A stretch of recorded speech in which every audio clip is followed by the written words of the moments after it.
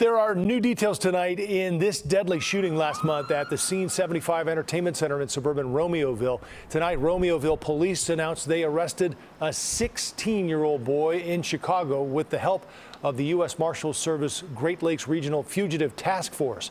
The teen is now facing first degree murder charges and is being held on a $5 million bond. He's also facing a charge of aggravated battery with a firearm. A 19 year old Chicago man was killed in that June 24th shooting. One other person was injured.